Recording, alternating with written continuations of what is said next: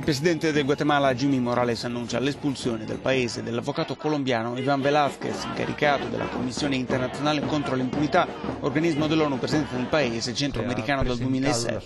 La scorsa settimana Velázquez, congiuntamente al pubblico ministero guatemalteco, aveva richiesto di revocare l'immunità del presidente per avviare un'inchiesta su presunti finanziamenti illeciti della campagna elettorale del 2015. Come presidente della Repubblica, nell'interesse del popolo del Guatemala, per il consolidamento dello Stato di diritto e delle istituzioni, Dichiaro il signor Velázquez persona non grata nella sua veste di incaricato della Commissione internazionale contro l'impunità in Guatemala e ordino che lasci immediatamente la Repubblica del Guatemala.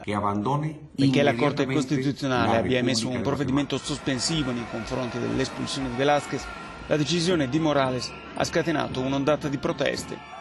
Purtroppo la giustizia è stata cooptata da un sistema politico mafioso che ci sta soffocando, dice un manifestante, è per questo che diciamo che Ivan Velázquez non se ne andrà, prima se ne deve andare Jimmy Morales che è un corrotto e un ladro.